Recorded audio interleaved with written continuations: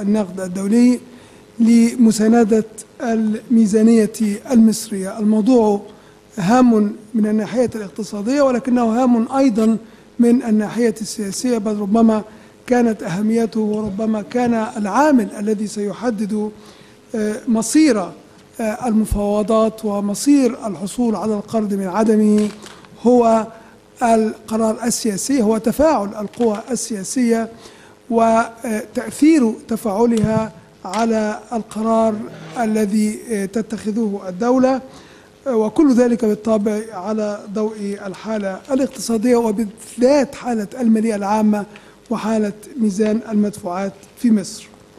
معنا اليوم للحديث وللدخول في حوار حول الموضوع معنا نخبة ممتازة من المتخصصين في الموضوع المتخصصين في الاقتصاد المتخصصون في التجارة الدولية والمتخصصون في العلاقات المالية والنقدية الدولية ولكنهم يتميزون أيضا بوقوفهم على الجوانب السياسية في الموضوع. الدكتور أحمد غنيم والدكتور أحمد غنيم أستاذ للاقتصاد في كلية الاقتصاد والعلوم السياسية في جامعة القاهرة وهو خبير في عدة مؤسسات دولية مستشار لها واختصاصه الدكتور أحمد غنيم الأساسي هو التجارة الدولية ومفاوضات تحرير التجارة الدولية بما في ذلك التجارة في الخدمات وعلاقة التجارة الدولية وتحريرها بحقوق الملكية الفكرية. المتحدث أو المشارك الثالث على هذه المنصة هو الزميل العزيز الدكتور خالد أمين والدكتور خالد أمين هو أيضا أستاذ للإدارة العامة في كلية في قسم الإدارة والسياسات العامة في كلية الشؤون الدولية والسياسات العامة في الجامعة الأمريكية في القاهرة. والدكتور خالد متخصص في مسائل اللامركزية وفي مسائل السياسات المالية العامة. وهو أيضا خبير واستشاري لدى عدد من المنظمات الدولية منها البنك الدولي وبرنامج الأمم المتحدة للتنمية والاتحاد الأوروبي وغيرها.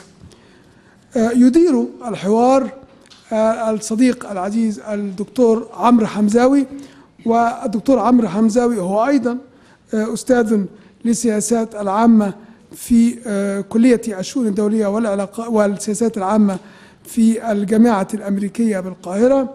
والدكتور عمرو حمزاوي يختص بمسائل السياسة والحكومات المقارنة وبالتطور الديمقراطي وبالإسلام السياسي وهو فضلا على ذلك ناشط سياسي في الحياة السياسية المصرية في الوقت الراهن.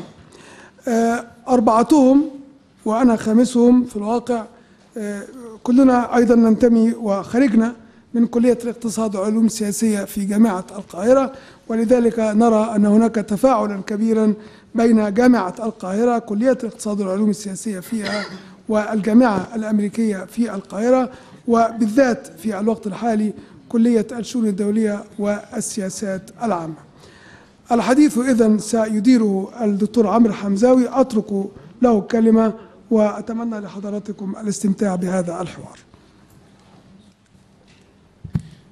شكرا جزيلا. أبدأ بشكر الأستاذ الدكتور إبراهيم عوض على كلمات المقدمة. والدكتور إبراهيم صديق عزيز وزميل عزيز نتعلم منه الكثير ومن خبرته في العديد من القضايا التي هو الآن يعمل عليها بصورة أكاديمية في الجامعة الأمريكية بعد فترة عمل طويلة في منظمة العمل الدولية سبقت قدوم الدكتور إبراهيم إلى الجامعة الأمريكية. أشكره على كلمات المقدمة وأرحب بحضراتكم وأرحب أيضا بالضيوف الأعزاء السفيرة الدكتورة ماجدة شاهين الأستاذ الدكتور أحمد غنيم والأستاذ الدكتور خالد آه، خالد أمين. آه، أرحب بالجميع وأعرض عليهم وعلى حضراتكم الصورة التي سندير بها الجلسة. الموضوع هو قرض صندوق النقد الدولي. آه، الموضوع كما تفضل الدكتور إبراهيم له أبعاد اقتصادية وأبعاد اجتماعية وأيضا أبعاد سياسية مساله تتعلق أيضا بوضع الاقتصاد المصري الحالي وكيفية إدارة ما آه، تم تشخيصه من جانب الجميع باعتباره أزمة اقتصادية طاحنة تتعرض لها مصر. كيف السبيل للخروج منها؟ ودور قرض صندوق النقد الدولي في هذا الإطار ومواقف الأطراف السياسية المختلفة من يحكم ومن يعارض وما إلى ذلك. الصورة التي سندير بها النقاش هي سنبدأ بالسفيره الدكتورة ماجدة شاهين ثم الأستاذ الدكتور أحمد غنيم ثم الأستاذ الدكتور خالد أمين لكل متحدث 15 دقيقة بعد آه، آه، كلمات المقدمة في 15 دقيقة لكل متحدث آه، سأعطي خمسة دقائق للمتحدثين للتعقيب على بعضهم البعض إن أرادوا إن كانت هناك آه، رغبة آه، للتعقيب المتبادل على نقاط ربما آه، أثرها زملاء. ثم نفتح الباب للنقاش. آه، طريقة إدارة النقاش ستكون آه، أن الميكروفون سيتحرك بين جنبات القاعة لنستمع إلى تساؤلاتكم وتعليقاتكم آه، في جولات ربما كل جولة من الأسئلة ثلاثة أو أربعة أسئلة ثم نعود للمنصة للتعليق ونعود لحضراتكم آه، الالتزام بالوقت سيمكننا جميعا من إدارة حوار ثري وفعال. آه، نبدأ مباشرة إذن وأطلب من السفيرة الدكتورة ماجدة شاهين أن تتفضل بمداخلتها في حدود 15 دقيقة. تفضل يا فندم. شكرا يا عمرو. و آه، أرجو المعذرة لأني أنا كنت آه، الحقيقة وضبط ال- يعني الأفكار اللي هتع... آه، بالإنجليزي ولكن طبعا آه، فوجئت إني لازم أتكلم بالعربي وده مش دي مش مشكلة بس في طبعا بعض التعبيرات اللي هتلاقوني هحطها بالإنجليزي لو ما أسعفنيش ال- آه، مخي وجبتها بالعربي على طول. المهم الفكرة اللي أنا عايزة يعني اللي, اللي أريد أن أطرحه عليكم إن إحنا دلوقتي في إطار مفاوضات مفاوضات متعثره مع صندوق النقد الدولي للحصول على قرض. طبعا الف... إحنا بنستقي معلوماتنا على أساس ادهوك على أساس كده من الصحافة من آه، آه، من كلمات آه، المسؤولين وكده ولكن ليس ليس ملمين أو ليس عندنا فكرة واضحة عن إيه اللي بنتفاوض عليه أو الأهداف التي بنسعى إليها. فإحنا عارفين إن القرض اللي بنتفاوض عليه دلوقتي قدره 4.8 بليون دولار. وده زيادة عن القرض اللي كنا بنتفاوض عليه من تقريبا سنة بعد الثورة مباشرة اللي هو كان 3.2 من عشرة بليون دولار. طيب ليه هذه الزيادة؟ ومين اللي قرر هذه الزيادة؟ وهل هذه الزيادة تكفي للوضع المتدهور في الاقتصاد المصري؟ ده طبعا أسئلة مطروحة. النقطة الثانية إن إحنا سمعنا إن السيد رئيس الوزراء قال إن عندنا 39 شهر سماح. آه، خير وبركة. طيب بعد ال 39 شهر سماح أربع في الشهر الأربعين كيف سيتم آه، سداد هذا الدين؟ وعلى أي أساس؟ القرض خمس سنوات يعني عندنا من الشهر 40 للشهر الستين يجب أن إحنا نسد هذه هذا القرض. كيف سيتم ذلك؟ وعلى أي أساس؟ ده برضو مش موجود.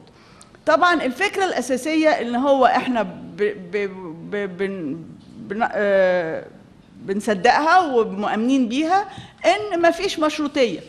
ن- نفترض إن مفيش مشروطية وإن البرنامج زي ما بيسموه آه برنامج وطني أو ما بيسموه بالإنجليزي هوم جرون بروجرام طيب هل ما فيش مشروطية وده طبعا مش دقيق للغاية لأن في الواقع من الأمر المشروطية إحنا اللي هنفرضها على نفسنا. عشان نتفق مع الصندوق على برنامج يكون يحظى بموافقة الصندوق هناك شروط آه، أساسية يجب أن إحنا يشملها هذا البرنامج ولا مناص من ذلك. فأحب قبل ما أبتدي أقول يعني قبل ما نتكلم على المسجز أو على إيه اللي إحنا عايزين نفهمه ونعرفه فعلا أحب أحط بعض المعطيات الأساسية في هذا الخصوص. اولا الصندوق النقد الدولي مسؤوليته الأساسية تجاه الأعضاء أو تجاه المجلس التنفيذي اللي هم أعضاء قائمين بالصندوق على أساس التصويت المرجح. وطبعا إحنا عارفين إن أمريكا عندها 17% من من الأصوات وهكذا. فده هم الصندوق مسؤول تجاهه. المسؤول تجاه الصندوق مسؤول تجاه الدول المقرضة إنها إنه يسهل لها الظروف أو يتيح لها استقرار المؤشرات الاقتصاد الكلي على اعتبار إنه يديها الفرصة إنها تعيد إنها تسد الديون بتاعتها. يعني لا لازم إنها تعرف كيفية سداد الديون. يعني ده الدور الأول بتاع الصندوق إنه يساعد الدولة على النمو لسداد ديونها. اتنين إنه إيه التسهيل التسهيلات المتاحة في الصندوق؟ طبعا في القروض الميسرة للغاية اللي هي دون فوائد ودي مصر مش لا ما تقدرش تحظى بيها لأنها دي للدول الفقيرة والأقل نموا. في زي التسهيلات الجديدة اللي هي precautionary و liquidity line اللي هي لمساعدة الدول للتعامل مع أي مشاكل خارجية ودي لسه زي ما سمعنا المغرب اخذت من الصندوق ما يوازي 6.2 من عشرة بليون دولار لمجرد وانها دي اخذتها بمشروطيه طبعا مشروطية الدفع. دي حاجة أساسية لازم إن المغرب تعرف تسد هذه المديونية ولكن دي بريكوشنري للاحتياطي للتعامل مع أي مفاجآت خارجية. وده برضو وده أساس القرض إنه يبقى الدولة عندها اقتصاد سليم. ومؤشرات اقتصاد كلية سليمة وبيتع... وعلى هذا الأساس بيتم منحها هذا القرض. القروض اللي فاضلة واللي هي طبعا ممكن ت... مصر هي تحظى بيها اللي هو طبعا المعروف واللي اخذناه قبل كده اللي هو stand-by arrangement ترتيبات اللي هي ال stand-by arrangement أو آلية التمويل السريعة أو العاجلة.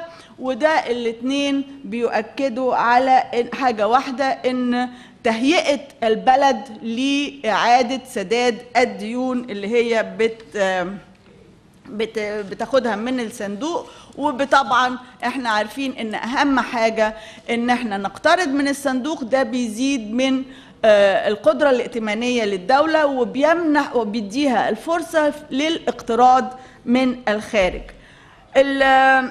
مصر كانت تعاملت مع الصندوق قبل كده بل تعاملت مع الصندوق أربع مرات مرة في الثمانينيات ثمانينيات وثلاث مرات في التسعينيات. في أول 1991 لما مصر أخذت لما تم إلغاء الديون أو المصرية كدولة متوسطة الدخل. وكان وده كان موقف سياسي ولكن كان على مصر إنها تدي أيضا إنها مصداقيتها الاقتصادية فكان عليها أنها تدخل مع الصندوق في برنامج المرتين الأخرانيين 96 و 98 وبالمناسبة مصر ما سحبتش من القرضين الأخرانيين ولكن سحبت نص القرض الأولاني ما سحبتش من القرضين الأخرانيين وكان ده تحت ضغط الكونجرس علشان يدوا برضو للكونجرس التبرير المناسب إن مصر الاقتصاد بتاعها سليم وإنها ممكن إنه يكمل في مساعدة مصر وتقديم الديون ليها. فكرة إنه البرنامج الوطني دلوقتي دي برضو حاجة مش مستجدة أو ما ابتدعهاش البنك.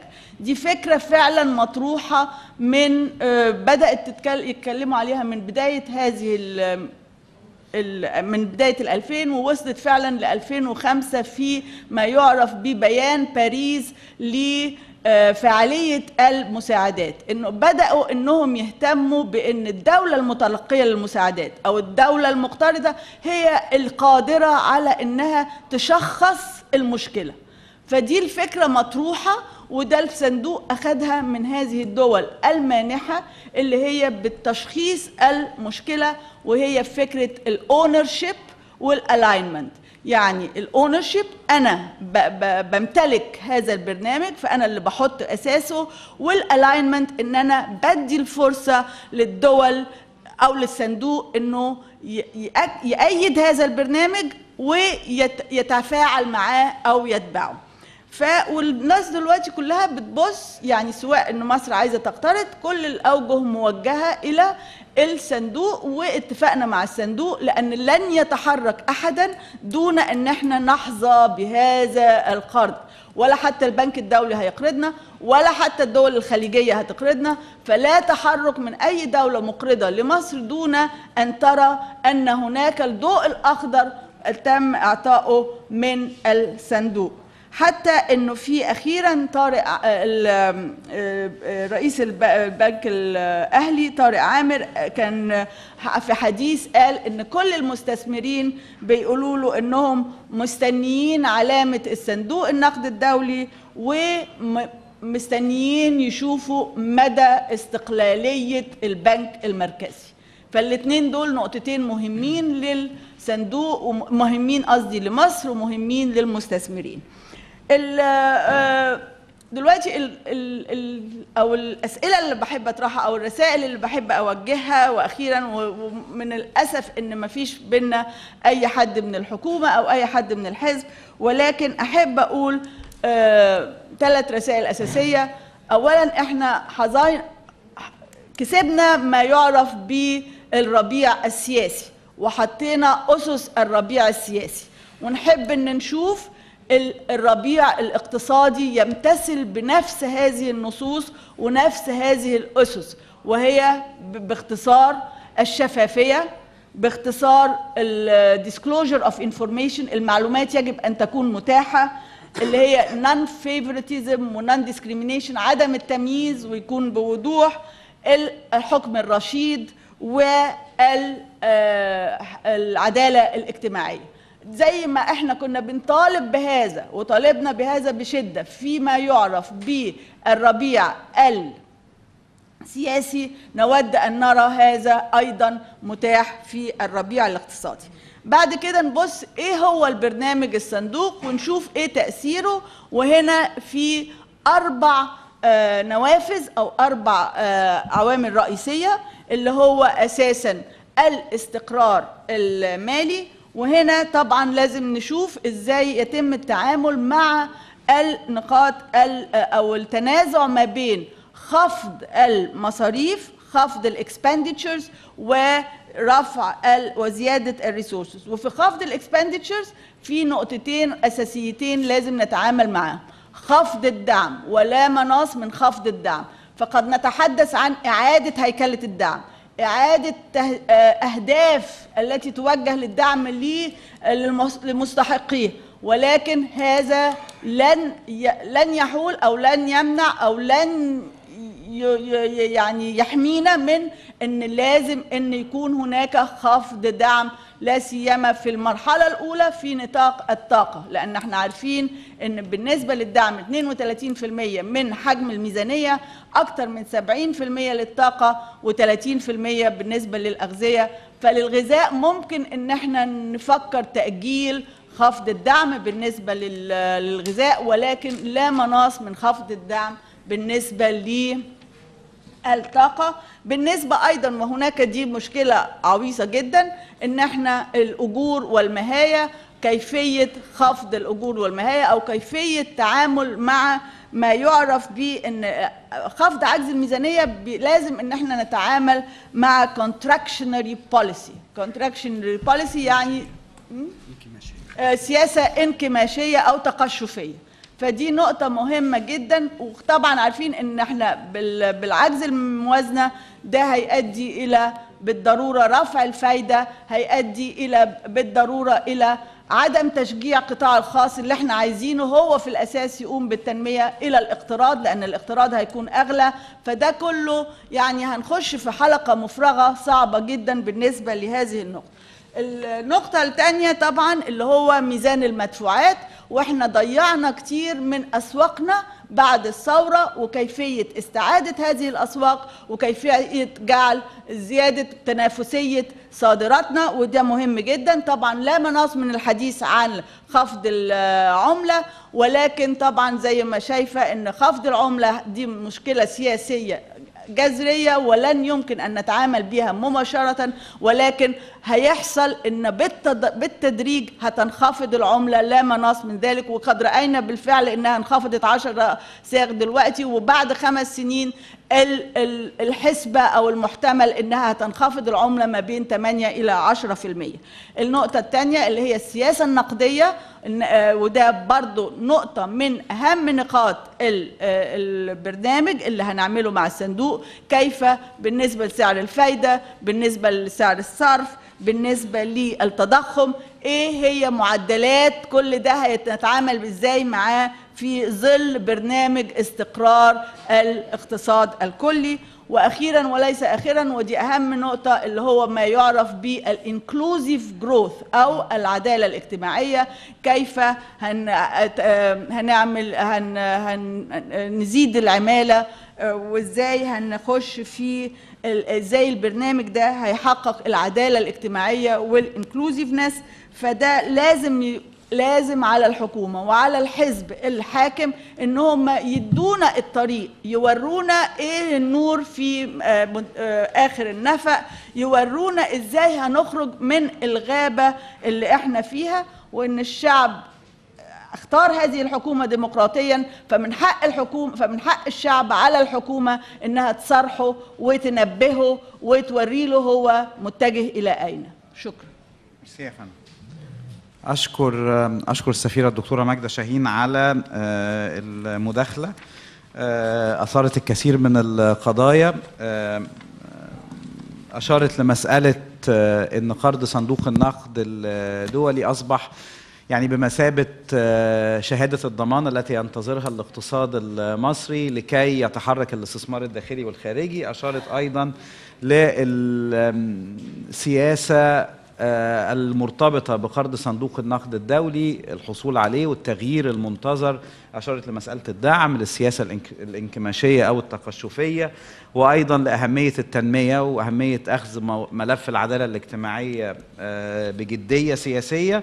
وطلبت الحكومة آه، الحالية وطلبت أيضا الحزب آه، الحاكم حزب الحرية والعدالة. آه، يمكن القول أيضا الجماعة الحاكمة جماعة الإخوان المسلمين. طلبت هذه الأطراف وأنا أضيف طرفا الجماعة بمصارحة الشعب وبشفافية واضحة. ننتقل الآن للدكتور أحمد آه، غنيم ونستمر في مناقشة القضايا الاقتصادية والسياسية المرتبطة بقرض الصندوق والوضع الاقتصادي المصري. تفضل يا أحمد. شكرا يا عمرو. ميرسي. آه، اولا بشكر الدكتور إبراهيم آه، عوض والمركز على الدعوة الكريمة وسعيد إني أكون هنا. أنا هتكلم على خمس نقاط في الربع ساعة الأولانيين بعض منهم آه، سعادة السفيرة العزيزة ذكرتهم ولكن قد نختلف في بعض الأمور فيما يتعلق بها أو قد نؤكد بعض الأمور. هتكلم على هل نحن أصلا في حاجة إلى القرض ولا لأ؟ لأن ده جدل موجود في الشارع. اثنين لماذا نلجأ للخارج بشكل عام وليس آه، نقترض من الداخل؟ ثلاثة المشروطيات ما لها وما عليها وحقيقة آه، فكرة المشروطيات. أربعة موقف الحكومة. وخمسة طبيعة القرض والموقف الخاص به. فلما نبتدي في نحن حاجة إلى القرض أم لا بعض الناس آه، يعني هرجع شوية لورا ومنها حزب الحرية والعدالة كانت بتنادي إن لا إحنا مش في حاجة إلى القرض إحنا بلد غنية آه، تم إساءة إدارة الموارد فيها وفي أمور كثيرة كانوا مركزين على حاجتين يقدروا يسدوا بيهم عجز الموازنة الصناديق الخاصة وفكرة الحد الأقصى للأجور. طبعا كما تعلموا حضراتكم إن الصناديق الخاصة ما حدش بيجيب سيرتها الآن. اولا دي كانت اكذوبه لأن الصناديق الخاصة آه فيها آه، جزء منها في فساد ولكن ليس كلها في فساد وهناك كثير من الفئات العاملة في الحكومة والقطاع العام بتعيش على جزء من الموارد ال- الصناديق الخاصة وما ينفعش إن أنا أخدها منهم لأن لو أخدتها منهم هيترتب عليه إن الحكومة هي اللي لازم تكمل هذا الجزء وهو ما سيكبل الحكومة بمصاريف إضافية. فكرة ال- الحد الأقصى للأجور آه، مع احترامي الشديد ليها آه، هي فكرة لن تحل المشاكل. هي ممكن نعتبرها رمز للعدالة الاجتماعية اللي ذكرتها سعادة السفيرة ولكن من الناحية المالية والاقتصادية آه، آه، يعني أعتقد أن هذا لن يتحقق بأي شكل لأن جزء كبير من الحد الأقصى للأجور آه، أو جزء كبير من الأجور اللي بيحصل عليها الناس اللي هم بنسمع عن أرقام آه، خيالية. الحقيقة ما بيحصلوش عليها من من الأجر. بيحصلوا عليها من من مزايا أخرى قد تتعلق بعضوية مجالس إدارات أو قد تتعلق آه، بعلاوات أو حضور اجتماعات أو خلافه مما يعني أنه من الناحية المالية لن تؤثر كثيرا. وبالتالي نحن في حاجة إلى قرض. يعني الوضع الاقتصادي آه، لن يحل آه، من قبل الحكومة وحتى لو افترضنا آه، إن ممكن هذه الموارد اللي أنا ذكرتها تكون حقيقية وتكفي للاستغناء عن القرض فإن إجراءات إصلاحها سواء الأجور إحنا إحنا بنسمع عن منظومة الأجور دي من أيام الحكومة الأولى بعد الثورة وإلى الآن ما هماش كل يوم نسمع الأسبوع الجاي هيبدأ تطبيق الحد الأقصى للأجور الأسبوع الجاي. الأمر معقد للغاية ويطول شرق وكذلك أيضا الصناديق الخاصة ومحاولة فالفكرة الأساسية إن مصر في حاجة إلى مساعدة. الحكومة في حاجة إلى مساعدة. وننتقل هنا بقى للنقطة الثانية هل نلجأ إلى الاقتراض من الداخل أم للاقتراض من الخارج؟ ال- ال- يعني برضو ما لا يعلمه البعض أن الاقتراض من الداخل آه، مشكلة في مصر حينما نناقش وضعها اقتصاديا أن خطورة الوضع في مصر فيما يتعلق بالدين هو ارتفاع نسبة الدين الداخلي إلى إجمالي الدين وليس هناك أي نوع من أي مشكلة في ارتفاع نسبة الدين الخارجي؟ إجمالي الدين الداخلي والخارجي حوالي في حدود 85% من الناتج المحلي الإجمالي. الدين الخارجي منه حوالي 14 15% وبالتالي 70% من دين مصر 70% نسبة للناتج المحلي آه، الإجمالي من الدين نسبته للناتج المحلي الإجمالي هو دين داخلي. وبالتالي المشكلة الأساسية هي ارتفاع نسبة الدين الداخلي وليس الدين الخارجي. طيب نمرة دي نمرة واحد. نمرة اتنين إن الدين الداخلي في مصر يتم اقتراضه آه، من منذ بعد الثورة. يعني الحكومة مش مثلا قاعدة مستنية لأ طرحت أذون خزانة آه، كثيرة. ونتيجة سوء الوضع الاقتصادي ارتفع سعر الفايدة على أذون الخزانة إلى 16% ما نزلش غير الأسبوع اللي فات إلى 14% يعني ده مؤشر على ارتفاع درجة المخاطرة في الاقتصاد حينما ترتفع آه، سعر الفايدة على أذون الخزانة ومؤشر أيضا على ارتفاع خدمة الدين. يعني ما الحكومة ما تيجي تسد الدين ده بتسد ب- بإقساط زائد خدمته خدمته اللي هي سعر الفايدة اللي هي مقترضة بيه فده معناه إيه؟ إن إحنا استنفذنا آه، فرص الاقتراض من الداخل وله آثار اقتصادية سيئة جدا لأن البنوك بتفضل إقراض الحكومة لدرجة الأمان العالية في أذون الخزانه والأموال المتفضلة آه، اللي عندها اللي هي السيولة بدل ما تقرضها للقطاع الخاص بتقرضها للحكومة مما يعني إن توقف عجلة الاستثمار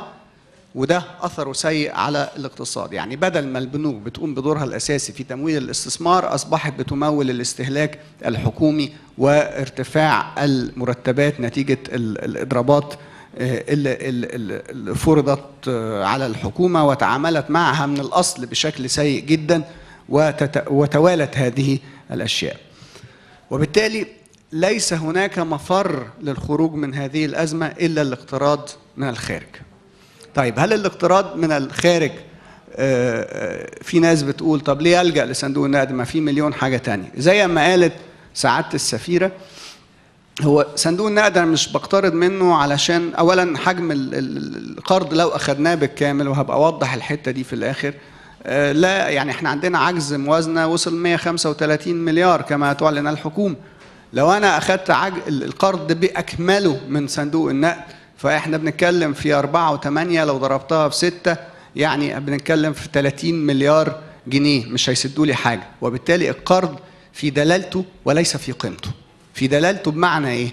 إن كثير من المستثمرين وكثير من المانحين بيستنوا إن صندوق النقد الدولي لأنهم بيطمنوا إن هذه البلد آمنة وقادرة على السداد. فبالتالي دلالة صندوق النقد في آه، آه، القرض هي التوقيع معاه مجرد الدلالة. مش معناها كما يذكر البعض إن هو شهادة على تعافي الاقتصاد المصري ولا شهادة على صحة الاقتصاد المصري. لا هو شهادة إن البلد دي عندها برنامج إصلاح ستقوم به وآهلة إن أنا أديها قرض وأستثمر فيها. هل القرض مع صندوق النقد الدولي بدون مشاكل؟ لا في مشاكل. المشاكل آه، آه، بتتلخص في حاجتين. الحاجة الأولانية إن احتمالات إن العملة تنخفض. وفي هذه الحالة لو العملة آه، سعرها انخفض ده بيزيد عبء الدين على الحكومة وعبء سداد الدين. ولكن ده في احتمالات ما هواش أكيد. الحاجة الثانية اللي هي المشروطيات والمشروطيات نوعين يا اقتصادية يا سياسية. وده اللي ينقلني للمشروطيات. الحكومة عشر مرات عشرين مرة تطلع تقول آه، إن مفيش مشروطيات وده صحيح وخطأ في نفس الوقت. هو الصندوق زي ما سعادة السفيرة قالت بيقول يا جماعة وروني أنتوا هتعملوا إيه؟ هو ما يهمه هو تحقيق أهداف معينة. تحقيق أهداف معينة تتعلق بالاستقرار الاقتصادي في البلد. يعني عجز الموازنة هتوصلوه لكام؟ آه، الحكومة تروح تقول 8% مثلا طب وروني هتعملوه إزاي؟ هو ما بيتدخلش في هتعملوه إزاي. هو يهمه هنوصل لكام؟ ده اللي يهمني. وقد يناقش في معقولية أو عدم معقولية البرنامج بتاع الحكومة. نقطة تانية إن المفاوضات حتى الآن لم تبدأ رسميا. المفاوضات عشان تبدأ رسميا لازم الحكومة تتقدم بما يسمى ال letter of intent أو خطاب النوايا. وده أعتقد إن هو اللي بتقوم به الحكومة الآن ولو إني يعني أنا لا أعلم من يقود هذا الملف على الإطلاق في الحكومة إلا إن دي نقطة. النقطة الثانية إن آه، المشروطيات اقتصاديا أعتقد أعتقد في ظل الوضع اللي إحنا فيه ودي أنا أول مرة أقولها إحنا في حاجة إليها. أنا شايف حالة عدم استقرار وعدم وضوح رؤية ومفيش اقتصاديين ولا في المجلس الاستشاري ومفيش غير اقتصادي واحد في الحكومة فلو ما كانش بقى حد عندنا هيوازن الاقتصاد بال- بالأوضاع الاجتماعية أعتقد نحن يعني بنذهب إلى آه، آه، أنا لسه فاضل لي خمس دقائق أربعة. فضتني آه. أربعة. آه، وبالتالي في حاجة إلى مشروعات اقتصادية. هل في مشروعات سياسية هي ساعات السفيره قالتها ضمنيا كده إن مجلس إدارة الجهاز الصندوق بيبقى فيه توجهات سياسية؟ قد تتعلق بتوجهات مصر السياسية وقد تتعلق بهل نديها لا ده مش أنا مش مؤامرة. دي في مؤامرة. لا في لا أنت ما بتقولش حاجة. لو في مؤامرة من بره المكان. الحرية والعدالة مش معانا هنا. الحرية والعدالة اعتذروا. فما تخافش لو المؤامرة مؤامرة خارجية. كم؟ قد تتعلق بالتوجه السياسي لمصر يعني التعامل مع إيران أو أو أو. أخيرا موقف الحكومة غير واضح. يعني ساعات السفير قال 39 آه، شهر فترة سماح. هو الحقيقة في بداية الأمر ال- الوزير ال- التخطيط والتعاون الدولي قال هو stand-by agreement وال stand-by agreement ما ياخدش فترة سماح 39 شهر. ساعات السفيرة قالت ال precautionary وال liquidity facility دي برضو وضعها مختلف تماما ويحق للدولة الاقتراض أكثر من 300% أو 200% من حصتها وممكن تصل إلى 500 و600% فهو لغاية دلوقتي أنا مش فاهم إحنا بنتفاوض على إيه أو هنتفاوض على إيه. يعني في كذا إمكانية والحكومة إن كانت عارفة فهي بتعلن أشياء متناقضة. لأن ال stand-by agreement عمر ما هتكون فترة السماح فيه 39 شهر. وإن كان precautionary فدي معناها بتتعلق بإن كان في ظروف سيئة لإدارة الاقتصاد وبتمتد على خمس سنين وبتتطلب مشروطيات. فالأمر غير واضح في هذا آه، الشأن. أخيرا إن طبيعة القرض قد تكون ليست قرض ودي نقطة لازم تتوضح. يعني هي أموال بحطها ك guarantee أو كشيء قد أستخدمه في حالة الضرورة. وده ما حدث في ال stand-by agreements اللي حصلت عليهم مصر قبل كده لم تستخدمهم بالكامل وما عدا واحدة هي اللي استخدمتها ولكن إذا ارتأت الحكومة إنها قادرة تحقق الأهداف الاقتصادية بدون اللجوء إلى هذا الاحتياطي اللي هو موجود عندها أو إذا كانت المشروطيات أو الظروف الاجتماعية لا تسمح فلا تلجأ إليه. وده ما حدث في الحالة المصرية. شكرا يا عمرو بدل ما حاجة تانية تقع طيب أحمد أحمد شكرا جزيلا. آه لا ما ما فيش حاجة هتقع إن شاء الله. طيب أحمد آه، أشار لعدد آه، هام جدا من النقاط استكمالا لحديث السفيرة الدكتورة ماجدة شاهين مصر في حاجة إلى ال- إلى القرض لأن آه، البدائل المطروحة الصناديق الخاصة أو آه، تغيير منظومة ال- الأجور بوضع الدخول بوضع حد أقصى للدخول آه، هذه بدائل غير كافية. مصر في حاجة إلى القرض آه، والاقتراض الخارجي أفضل لأن الدين الداخلي نسبته إلى نسبة الدين إجمالي الدين أعلى بكثير. تحدث عن 70% و15% وإن الدين 85% من الناتج المحلي إجمالي الناتج المحلي المصري. القرض بدلالته وليس بقيمة القرض لأن القرض بيو- يدلل آه، إن حصلت عليه الحكومة المصرية على أننا مع برنامج إصلاح اقتصادي وهذا بيطمئن المستثمر الداخلي والخارجي. تحدث أيضا عن المشروطيات السياسية والاقتصادية وأن موقف الحكومة من المشروطيات غير واضح وأن هناك الكثير من من الأمور التي لم تتضح بعد. أشكر أحمد شكرا آه، جزيلا على على العرض وننتقل الآن إلى الدكتور خالد أمين استكمالا للحوار حول القرض والمشروطيات والأوضاع الاقتصادية والسياسية المرتبطة به. خالد اتفضل. شكرا.